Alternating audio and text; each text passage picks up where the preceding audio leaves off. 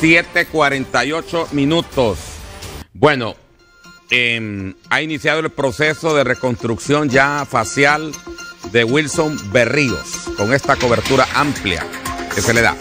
Un equipo de cirugía plástica y de odontología del hospital en Boston, Massachusetts, Estados Unidos, inició ayer el proceso de, cirugías para reconstruirle el rostro al joven Wilson José Berrío de 18 años. Ingresó a este centro desde el pasado jueves, se sometió ayer a la primera intervención quirúrgica y el próximo martes se realizará ya la segunda cirugía.